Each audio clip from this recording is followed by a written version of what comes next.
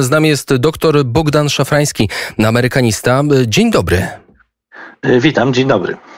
Joe Biden przyleciał do Polski na dwa dni, dwudniowa wizyta. Co to oznacza? No, to jest po pierwsze podkreślenie znaczenia e, Polski e, w tej trudnej sytuacji, w jakiej znalazła się Europa, znalazł się Sojusz Transatlantycki, e, no a przede wszystkim Ukraina, jakby nie było, prezydent znalazł się w niedalekiej odległości od granicy ukraińskiej. To jest e, wsparcie, nie tylko wsparcie mentalne, także e, materiałowe. Wcześniej prezydent USA Joe Biden e, zapowiadał i te słowa stały się czynami wsparcie, jeżeli chodzi o broń dla, dla walczącej Ukrainy, dla żołnierzy, którzy od 30 lat, od 30 dni stawiają opór rosyjskiemu najeźdźcy. Ta sytuacja zmieniła sporo, również sporo na rynku węglowodorów. Dziś zapowiedź szefowej Komisji Europejskiej Ursuli von der Leyen o Leyen o zakupie, zakup, zakupie gazu ze Stanów e, Zjednoczonych. Co to oznacza?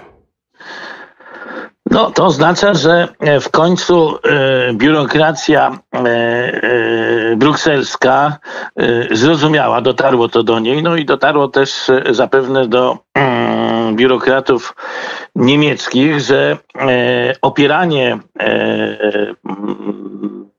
gospodarki e, europejskiej e, na e, węglowodorach, na, w szczególności na gazie ziemnym rosyjskim, no jest szkodliwe. Co więcej, jest to główne źródło finansowania agresywnej polityki rosyjskiej. Także to przeformułowanie to nie będzie takie proste, bo Niemcy przez wiele lat opierali się e, e, temu pomysłowi, no, któremu sprzyjało e, działanie Polski, czyli budowie gazoportów, po to, żeby można importować gaz skroplony no, nie tylko ze Stanów, ale z innych rejonów Zatoki Perskiej, czy też możliwe jest i z Afryki Północnej.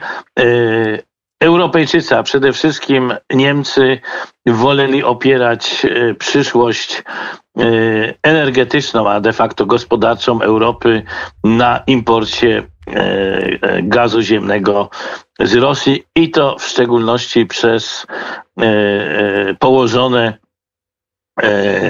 gazociągi na dnie Morza Bałtyckiego, znane łącznie pod nazwą Nord Stream.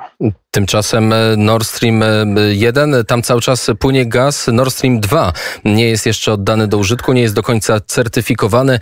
E, jest wstrzymane są prace, jeżeli chodzi o jego certyfikację, ale nie jest również anulowany.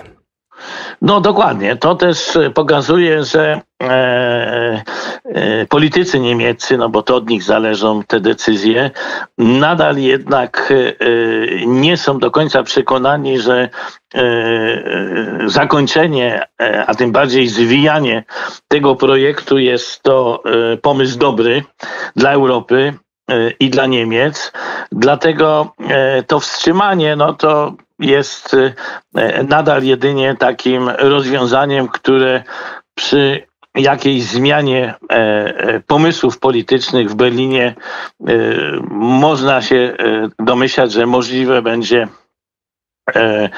odwrócenie tej, tego procesu i jednak odblokowanie Nord Stream 2. Także mm, stanowisko Niemiec w tej kwestii jest nadal, można powiedzieć, mm, z punktu widzenia na przykład i Europy, i naszego bardzo niepewne. To stanowisko Niemiec, a co ze stanowiskiem Stanów Zjednoczonych? Wiemy po zapowiedziach USA nie kupią ani ropy, ani gazu od Rosji. Co więcej, oferują Unii Europejskiej sprzedaż choćby gazu, gaz płynny LNG. Jednak jak wiemy, on w 100% nie zapewni niezależności od Rosji. Więc pytanie, czy, czy Amerykanie myślą, że Niemcy z dnia na dzień zrezygnują z rosyjskiego gazu?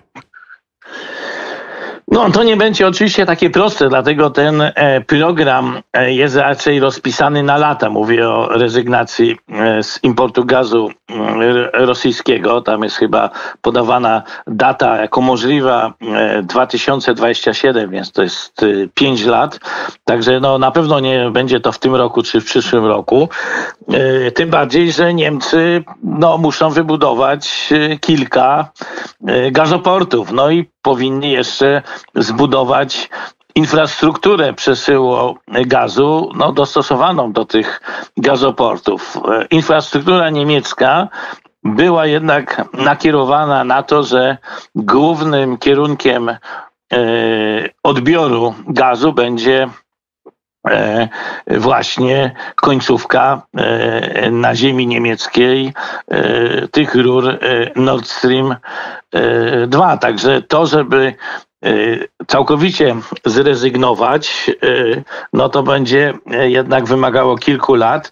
No i tutaj od razu widać, że jednak zrozumienie całej sytuacji tej geopolitycznej i zagrożenia rosyjskiego w Polsce było dużo większe. A w Niemcy ich politycy, no można powiedzieć, nie pokazali że są wizjonerami i widzą zagrożenia przyszłości. No, pamiętamy nie tylko e, e, Schrödera, ale pani Merkel przecież w uparty sposób twierdziła, że jest to poli to jest projekt ściśle gospodarczy, a nie polityczny. No teraz przychodzi takie pewne otrzeźwienie, że jednak to e, chyba nie mieli racji. Jak jest taki, w takim razie, jakie zdanie mieli Amerykanie na ten temat, na temat uzależniania się Europy od rosyjskiego gazu? Z jednej strony Amerykanie nie chcieli zupełnie odcinać się od Rosji, żeby nie wepchnąć ich w ręce Chin, co nie byłoby pozytywnym rozwiązaniem dla, dla USA, więc w, w takim razie dlaczego Amerykanie nic z tym nie zrobili?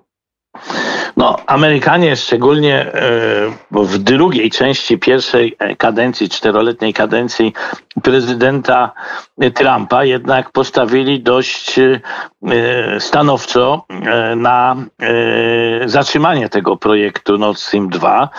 Także no, Trump i jego doradcy w pewnym momencie zorientowali się, być może po rozmowach e, e, wewnętrznych, a być może po rozmowach e, z naszymi politykami i Trump jednak i jego administracja dość surowe sankcje na ten projekt nałożyli. No, jak do władzy doszedł Joe Biden, to niestety w sposób jednak taki dość naiwny no jego oczywiście doradcy też musieli w tym e, brać udział, uznał, że e, ten projekt nie jest, e, niekoniecznie trzeba go zatrzymywać i niejako chciał oddać Europę w zarząd niemiecki. No co i politykom niemieckim, i politykom rosyjskim bardzo odpowiadała ta taka chęć wycofania się z tego regionu. Znaczy no, Joe Biden o... wprost, wprost mówił, że powstrzymanie Nord Stream 2 nie było możliwe ze względu na to, że budowa gazociągu jest niemal ukończona. Tak było w połowie no, ale, zeszłego roku. Ale zawsze jak brakuje tego jednego metra, tam brakowało dużo więcej, to to dalej y, y, rura to ma do siebie, że jak brakuje metra, to jakby jej nie było. Także e, e, zezwalając, a to były decyzje no, z maja ubiegłego roku, było to wielkie zaskoczenie również tutaj dla nas w Polsce, że tak lekko e, potraktował ten, ten projekt. No i po paru miesiącach musiał się jednak zderzyć z twardą polityką Putina, no i pewnie ci, którzy namawiali i podejmowali decyzję, żeby odblokować e, sankcje na Nord Stream 2 w Waszyngtonie, no e, na pewno nie mieli e, łatwego snu. No ale trzeba zaznaczyć, że pod koniec lutego Joe Biden ogłosił sankcje wobec spółki Nord Stream 2, jednak później, późniejsze wydarzenia już znamy. Rozpoczęcie inwazji, wtargnięcie wojsk rosyjskich na Ukrainę. Dziś miesiąc, 30 dzień rosyjskiej inwazji na Ukrainę. Jak w ogóle społeczeństwo amerykańskie interesuje się tymi wydarzeniami? Na ile one są ważne, jeżeli chodzi o amerykańskie media? Na ile są ważne, jeżeli chodzi o amerykańską politykę dla przeciętnego Amerykanina. No, ja jeszcze może jedną rzecz e, dopowiem, bo to jest w sumie istotne. E, jednym z e, elementów polityki, którą proponował jako politykę, którą będzie realizował Joe Biden jeszcze jako kandydat, to było odejście od tej eksploatacji złóż gazu łupkowego i związanym z tym eksportem, także on pod wpływem e, ruchu zielonych e, mm, proponował i e, rzeczywiście wprowadził ograniczenia w produkcji i w związku z tym możliwościach eksportowych.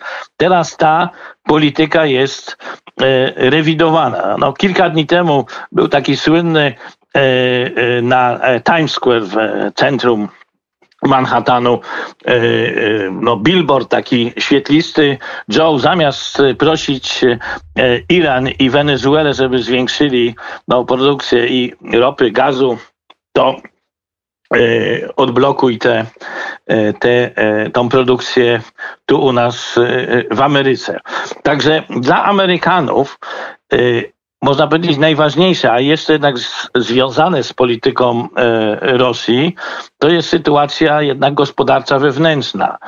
I e, rosnące ceny e, węglowodorów, no w tym przede wszystkim benzyny, ale również gazu, bo to jednak cena gazu wzrosła znacznie, to to budzi bardzo duży niepokój w Stanach Zjednoczonych, tym bardziej, że to jest y, główny czynnik wpływający na bardzo wysoką, no już można powiedzieć porównywalną z e, późnymi latami 70. inflacją. Także dla Amerykanów, y, prócz tego, że oczywiście te zdjęcia, które widzą, te e, migawki z wojny w Ukrainie, no, budzą i niepokój, i e, sympatię dla narodu e, ukraińskiego, no to dodatkowo ta jednak trudna sytuacja gospodarcza, duża inflacja od 40 lat E, niespotykana e, w Ameryce, e, no to jest ich główna troska. Mm, powiedział, powiedział doktor Bogdan Szafrański, amerykanista. Dziękuję serdecznie za rozmowę. Dziękuję, pozdrawiam.